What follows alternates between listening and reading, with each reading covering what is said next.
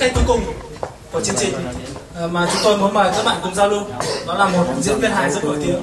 Người ta nói rằng nếu như thúy nga có hoài linh gala cười có xuân bắc thì tomska có anh. Anh đó là anh.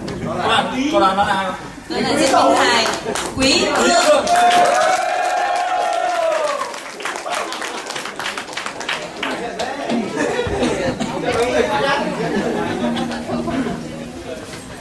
À, chắc chắn các bạn vẫn còn nhớ anh à, Vương thì à, rất thành công trong vai thầy bói. À, vậy à, xin hỏi anh là anh có biết bói không? À, tiên tôi xin uh, nói là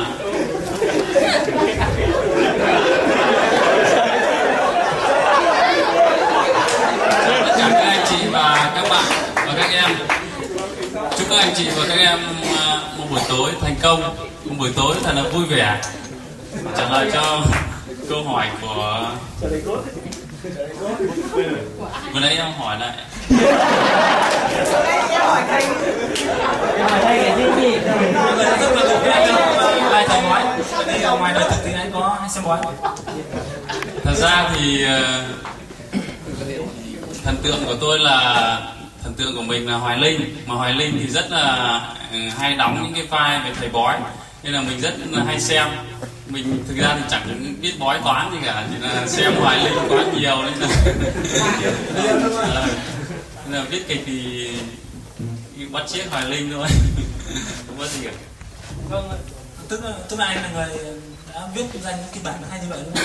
Vậy anh tức là anh ờ, hâm mộ hoài hoài linh và anh đưa viết ra những cái uh, tức là đưa đưa đưa ra những cái nhân vật mà mọi người có, có thể nói là mọi người rất là trầm trồ và ngạc nhiên đúng không ạ?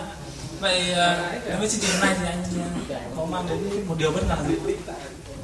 À, đến với chương trình hôm nay thì là vừa là để kỷ niệm cho các bạn, các anh chị, các bạn và các em ở đây một vở kịch cuối, một vai diễn cuối của mình ở tại Tôm. Và cũng là yêu cầu của ngoại trưởng Kiến.